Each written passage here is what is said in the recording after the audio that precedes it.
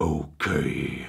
Hi everyone, Red the Striped Tano here, the internet's busiest music nerd, and it's time for a review of the new collaborative Rico Nasty and Kenny Beats project, anger management. When it's come to the explosion of hyper-aggressive SoundCloud rap, distorted, bumping beats, screaming on top of them, few voices have stood out as boldly as Rico Nasty's. And I would say her uncompromising personality has the potential to make her bigger than the trend itself. I mean, she's already outlasting it at this point. And before this review, before this record, I already had this feeling that Rico Nasty at this point has nowhere to go but up. Even if her breakthrough project last year, Nasty, was a little one-dimensional, it was unique, it was aggressive, it was in your face, but there were still some aspects of it that felt like Rico was still just in the the middle of this period of evolution. And honestly, it wasn't really that long ago where Rico was auto crooning over some very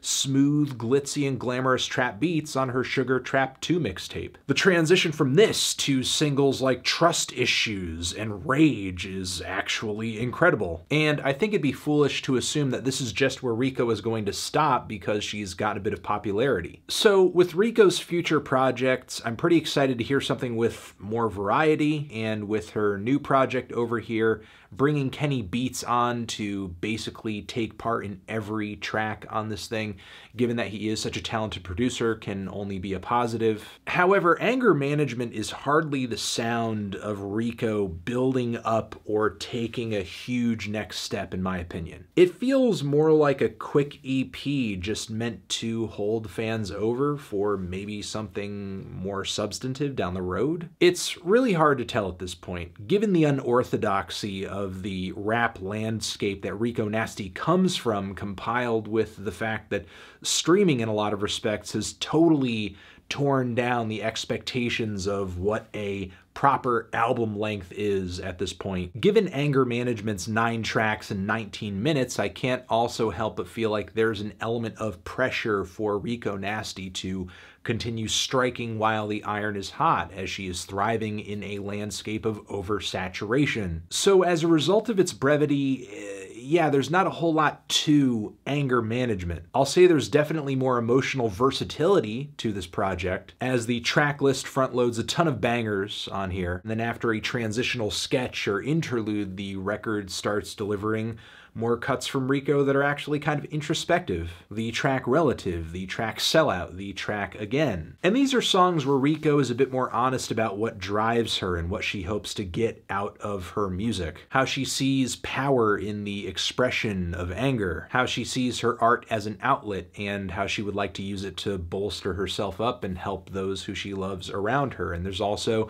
moments where she's kind of giving her audience tidbits of inspiration, admiring them for being focused and going through tough times with a brave face. It's certainly more tasteful and thoughtful than some of the more mellow cuts Rico has dropped on past albums, and reveals a side of her that we don't often see in this much depth on a project, although it, it relatively this is a pretty short amount of songs. So even though we are getting a glimpse of this, it's almost barely a glimpse. It's kind of like a snapshot, especially given the song Relative is one of the shortest and most low impact songs on the entire project. Still, some of the harder hitting cuts on this thing are pretty incredible. The opening track, Cold, is amazing. Rico is screaming her brains out on this blood boiling refrain. None of these bitches cold as me!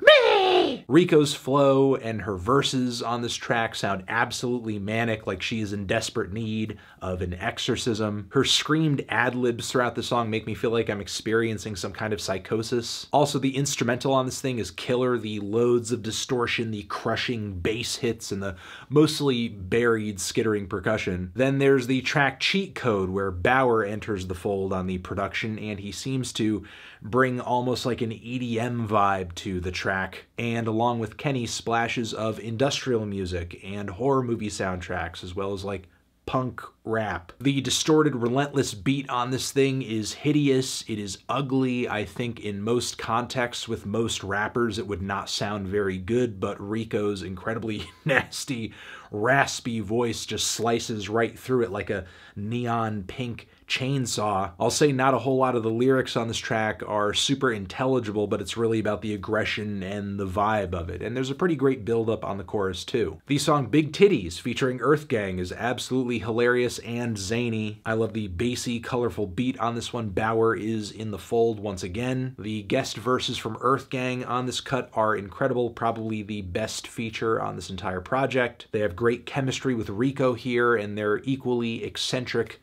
rap deliveries complement hers so well. Smooth flows, hilarious hook on this thing. Yeah, sure, maybe the lyrics are a little shallow, but I think that is easily made up for in just how ridiculous the track is. Now, there are a few head scratchers in the track list here, namely uh, the cut Hatin, which is literally just a redo of Jay Z's Dirt Off Your Shoulder. And hey, Love the track. I mean, I remember when it dropped. It was an incredible single. And there are some kind of subtle instrumental changes made to the beat as well. And I love Rico's themes on this track of independence and self-sufficiency. The song Mood featuring Splurge, who I think I'm just hearing of for the first time on this track, was kind of odd given that uh, Splurge's feature here is so awkward and mumbly and weak. It sort of reminds me of a a bad flow in a verse off of a recent Lil Yachty album. Also, the kind of plain basic structure of this track isn't doing it many favors either. The chemistry level on this thing is super low. Uh, it's easily my least favorite on the entire album and, and really painfully forgettable. A track on a record that is so short that it can't really afford to have a dud on it. Still, I would say on average, in comparison with Nasty, anger management may be an improvement because there's very little on this project that uh, not worth listening to. But I feel like we've only gotten there by scaling the project back so far that we're just reducing our chances of getting a dud. Do I see Rico progressing on this record even though it is short and has severely left me wanting more? I guess a bit because it is kind of refreshing to hear moments like the closer where Rico does get a bit more personal. I also like the recurring themes of anger and dealing with your emotions on this record too. What you see on the outside versus what you actually feel on the inside. So there are a lot of great things about anger management, very good tracks on anger management. Rico continues to be one of the more bold voices in the current rap landscape. This is easily her most consistent project so far, but, but, but, but, but,